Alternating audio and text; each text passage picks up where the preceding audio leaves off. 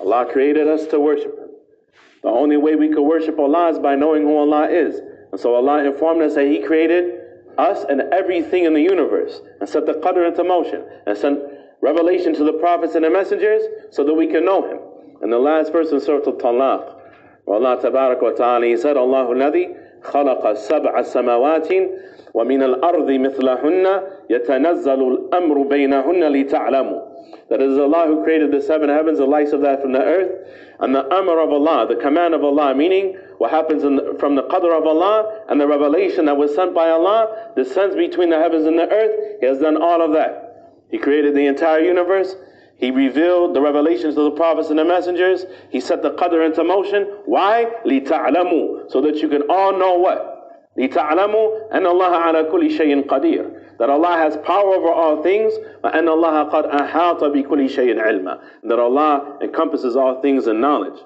So in the verse in Surah Al-Dhariyat, Allah informed us that He created us so that we could worship Him. In the verse in Surah Al-Talaq, Allah informed us that He created us so that we could know Him through His names and His attributes, Tabarak wa Ta'ala. And so Allah created us to worship Him and to know Him. وَمَحَبَّتُهُ What comes as a result of knowing Allah? مَحَبَّتُهُ That we love Him.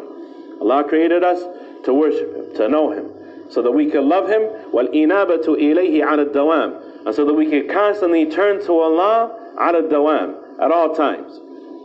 Everything that happens, when we look at the concept of inaba in the Quran, of turning to Allah in the Quran, Ibn Qayyim he explains in his book, uh, uh, Tariq al-Hijratain, he explains, rahimahullah ta'ala, when we look at the verses that mention inaba, and the munib, the person who is one who turns to Allah in the Quran. Then Allah mentions it as regards when Allah blesses His servants that they turn to Him with gratitude. When Allah tests His servants and they turn to Him with patience.